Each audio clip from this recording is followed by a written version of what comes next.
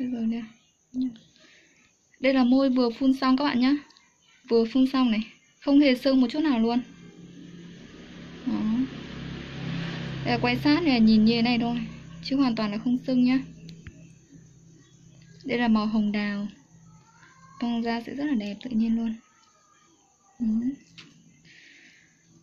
Đây phun môi collagen phủ bóng màu hồng đào. Rất bóng, mịn mướt này. Đây.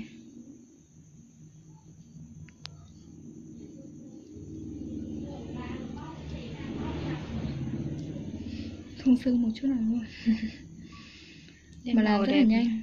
Nhìn này. Màu rất là đẹp, màu hồng đào